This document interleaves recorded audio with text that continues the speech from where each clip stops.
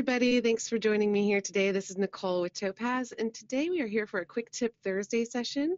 Today's quick tip is going to be about finding the perfect tone for your image using Topaz Restyle. With over 1,000 toning presets in Restyle, the endless possibilities can be a bit overwhelming at times, and that's um, an understatement. so we're going to walk through how to use the advanced searching capabilities in Restyle to really zero in on the perfect tone for your images. I'm going to show you two examples here today. Uh, in the first image, we're just going to really look at the tools um, that are in Restyle and show you how to use them to your advantage. And then we'll take an image in and actually go through a quick workflow on how I would apply a tone. So this first image that I'm going to be using is of a winery in Spain. And prior to this session, I'd edited this image and I, I liked it, but I didn't like the over, overall warmth of the image. Um, it just felt very, well, I just wanted to take it a different direction. And Topaz Restyle is a great program for um, just kind of inspiring you and leading you in a way that you might not have thought of before going into Restyle. So let's go into Restyle and take a look at some of the searching tools that we have in there for you. I'm going to go ahead and just make a quick copy by pressing Control J. And now I have this new layer to work with, and I'm going to go to Topaz Restyle. All right, it's going to apply the first the first thing that applies is the uh, most recent uh, preset that you've uh, recently worked with. So if you see something applied to your image right away, that's what's happening. Over here on the left-hand side is the most obvious way that you can search for presets. And we have, uh, that way is collections. We've broken it down into several different collections based on image type.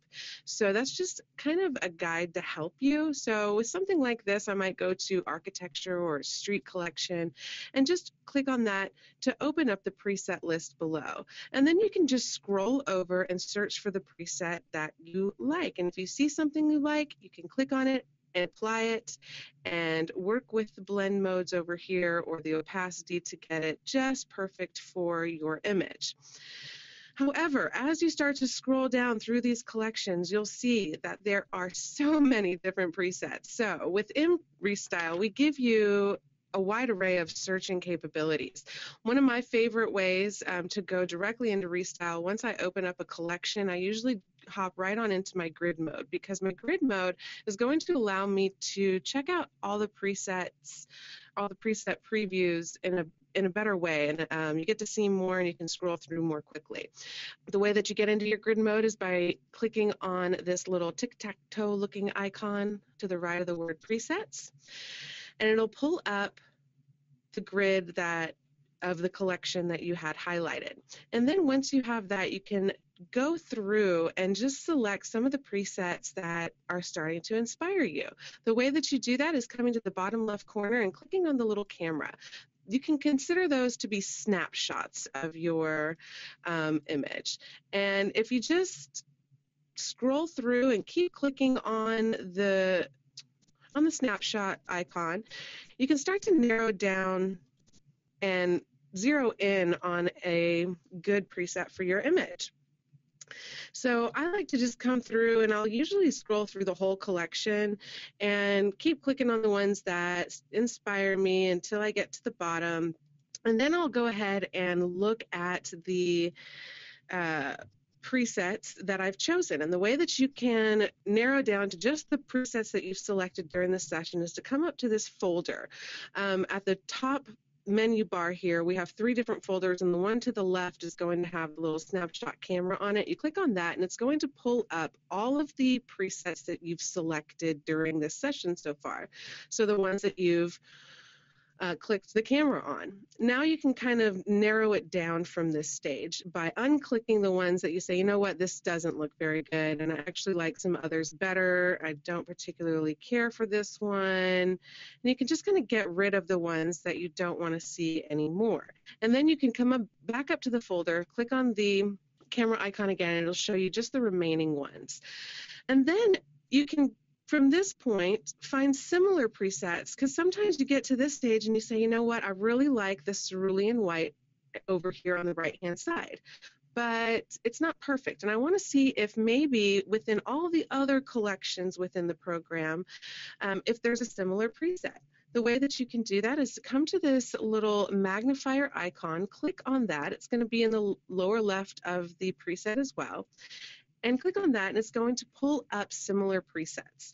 Now the way that it looks for similar presets is by looking at the first two dominant colors of the preset you selected to look at, so that's the cerulean white in this top left corner, and the two left-hand colors are the most dominant colors, and then you'll see very similar colors in the top, the two dominant colors within the rest of the presets.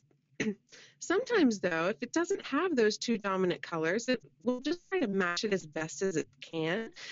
But one way to really find um, you know, a certain color is to actually go further than the find similar presets. As you scroll to the right from the uh, magnifier glass, you can scroll into the color into the color theme here. And what it will do is pop up these little pop-up previews. And within them it says, uh, find more presets with this particular color. So I can come in and any of these five colors, in any color I see, I can just click on the specific color itself. So if I was really looking for more of the cerulean blue, I could click on that. Then it's going to give me presets that have that cerulean blue as the most dominant color within the preset. So that's, that's another way to narrow it down just by the color itself.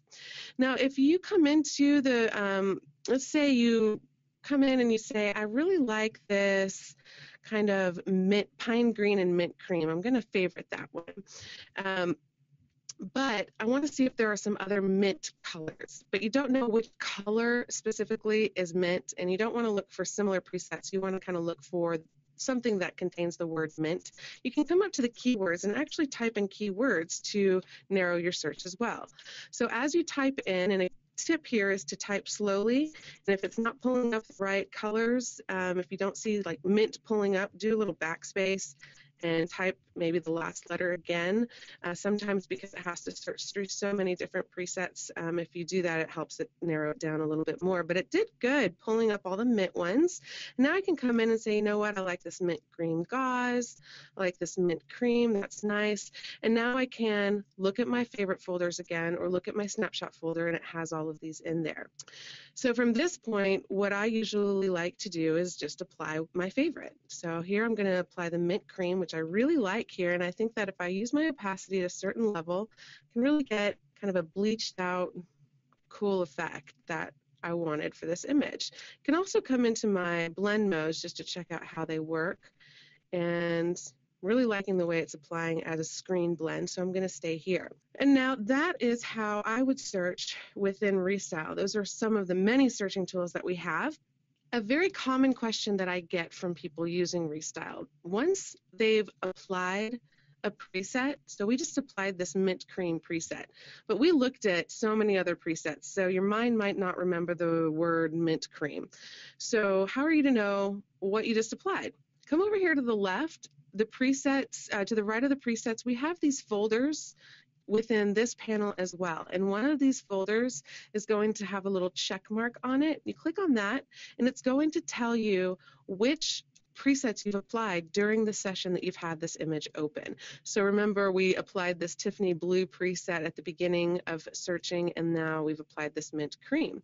So now you can come back in and say, okay, great. I know it's the mint cream preset. I did it at a screen blend at about 68%. I'm going to press OK. And now I have that information that I can put in my layer or into the image info and apply it. So that's usually what, how I use it, and I, I tend to always check out what preset I use because after you've used it several times, the same preset, you can then favorite it by clicking on the little stars within those uh, presets as well. Once they turn blue, it's going to be contained in a favorites folder that you can always refer back to. So here I would say Restyle Mint Cream Screen Blend or something like this, just to, something to refer back to. So another way that I like to use yeah, we can use this. Another way that I like to use Restyle is more for inspiration because there are so many different ways to tone an image. Restyle is excellent for kind of giving you a huge variety of effects that you can take a look at very quickly and kind of just go in the direction that you get inspired by. And that's really how I like to use Restyle when it comes to toning and why I use it so often because sometimes I don't know where to go. So let me just show you this beginning image. Um, here we go. So this is after camera raw, and then I took the image, took some of the spots and scratches off his face, worked with the clarity um, just by minimizing the micro contrast to smooth out his skin, uh, took out some of the catch lights in his eyes that I didn't want, and then this is where I would take it into restyle and tone. So I'm just going to make a quick copy, Control J, and name this restyle and go into Topaz Restyle to kind of get inspired on where I want to go with this image. Because that's, for me, that's really the difficult part. Sometimes you just don't know where you want to go and how to work with an image. So again, the way that I would do this, and this is going to be a very quick workflow just to show you how I work with it by using the search tools, I would say maybe something like fashion collection or a portrait collection, and then go directly into the collections. And then going through and just saying, you know, okay, I like this one. I like this salmon pink veil. That's nice. I like this burnished fawn. Okay, I want to take a look at all my favorited presets. Here we go. All right, so I like this burnished fawn the most, but I don't particularly love it. So I want to find similar presets. I'm going to click on the little um, magnifier icons and pull up similar presets. I can come through here and say, hmm, I'm kind of liking this cream and redwood. Maybe this desert sand dusting, or I want to take a look at this certain color and come through here again and find something that works. Ooh, I really like this faded tangerine. I think I'm going to apply that. That's really nice. I like the purpley, uh, dark tangerine um, shadows with the kind of brighter cream highlights for his skin. That's really nice just going to come over to my opacity and actually I'll go to my blend layers first. I usually tend to do that just to see if there's another blend that works better. And for this image, I'd probably go to the screen blend again and just take my opacity down to a level that works before and after. Let me show you that one more time, before and after. And that's how quickly I use Restyle by using those search tools just to quickly narrow down the perfect effect for your image. All right, thanks everybody. Talk to you soon. Bye bye.